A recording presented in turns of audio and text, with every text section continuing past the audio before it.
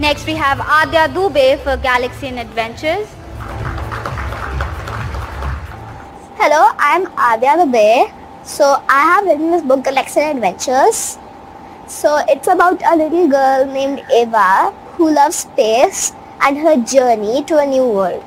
And how did BriBooks help you uh, with the writing of this book? BriBooks helped me a lot. It uh, fixed my errors in writing, which I which I was really thankful for because uh, you might not know me, but I do a few wrong punctuations now and then, and uh, I just loved the covers. It was just amazing. I saw the new world. I I have I the name of it is like Galaxia. It's a new world which we haven't discovered yet. So I need something magical. It gave me just the right thing. It showed a girl with ponytails going into a beautiful like I don't even know like a multiverse.